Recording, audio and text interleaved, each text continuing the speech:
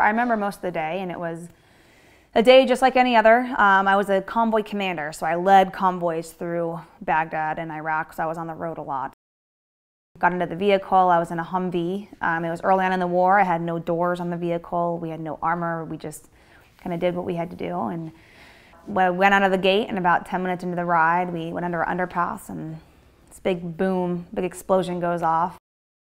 I undid my seatbelt, I started to get out and I looked down and saw a bunch of blood and that's when I called out. I, th I think I'm hurt. I'm hurt. And lucky for me, there was a combat medic a few vehicles back.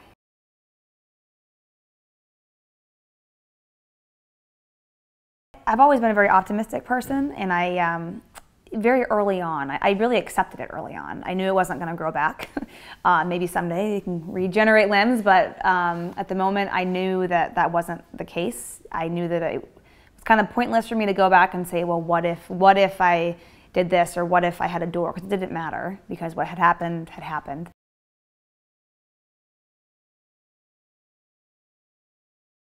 When I was younger, I dreamed of going to the Olympics as a gymnast, and I wanted to represent the country in, in USA. And um, as soon as I heard about the Paralympics, it was just an immediate, this is gonna, it's got to happen. Somehow I have to do it. So, I mean, no greater honor really than you know representing a country I defended over in Iraq, and just one that I was you know so so fond of. So um, it was a dream from that point on, and I decided to give it a shot first in the sport of swimming, and I ended up uh, competing in the 2008 Paralympics in Beijing in swimming, and then turned to triathlon the following year. But um, I mean, why not dream big? Why not live for those that gave that ultimate sacrifice?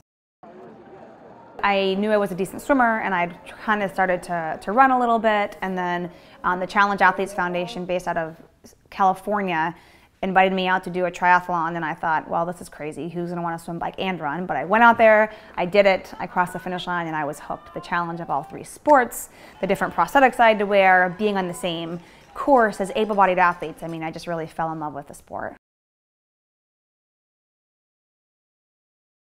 Myself and two other friends, Carrie and Dan, the three of us co-founded Dare to Try Paratriathlon Club in 2011. You know, we have a very much a grassroots level. We have um, where we serve youth, adults, injured service members. We have, you know, training year round. We have coaching. We provide the necessary equipment for someone to actually get into the sport and really finish it and to see what they're capable of. The motto is uh, "One inspires many," and our, a lot of our athletes are out there and I mean, Dare to Try, it's, it's becoming a very, very well-known name nationwide, and I'm just very proud to have helped start it and just to see where, it, it's gonna, where it's going to go. There's no end to the, to the benefits. I mean, it's amazing. You not only do you have this self-worth, you, you gain self-worth on the things that you're still able to do, you gain self-confidence, you become uh, more physically fit, you become, I mean, you're out there with other athletes that don't have disabilities and you're inspiring them. I mean, it's just one thing after the next. Just, I mean, I proudly live a life of sport and I encourage anybody to do the same.